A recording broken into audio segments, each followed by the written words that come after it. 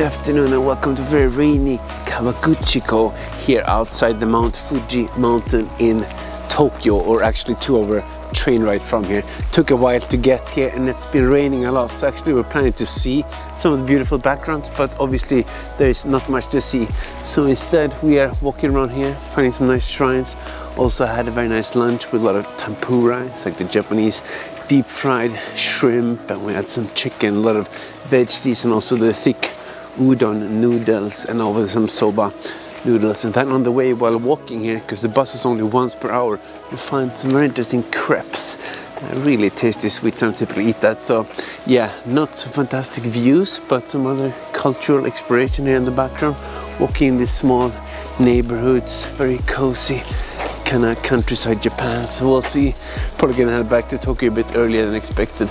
Just walk around see what we can find here in the rain. At least it stopped for now so sometimes that's what happens. You gotta make the most of it and just enjoy what's around, no problem. So continue walking here, see you a bit later. Okay, so we're back in Tokyo after two hours from the rain. We're in the Omoide Yokocho street here. There's a lot of cool restaurants and bars in the background. A lot of neon lights. Just came to this big famous crossing next to the subway exit.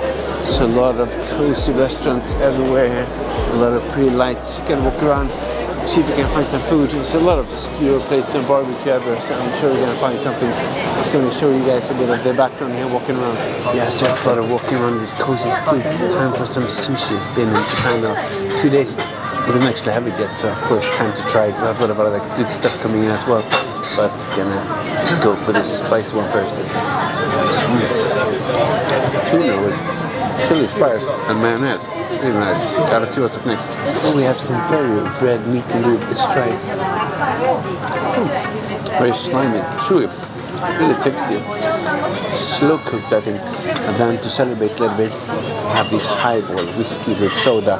Not something I drink typically, but very nice from Japan refreshing. Still waiting for a lot of stews with chicken thigh, chicken skin, a lot of cool stuff. So let's see what comes in next. We got in the skewers, yeah, that's looking really nice. We have the meatballs, we also have a lot of other cool stuff, chicken and some vegetables, chicken skin. Let's try one bone.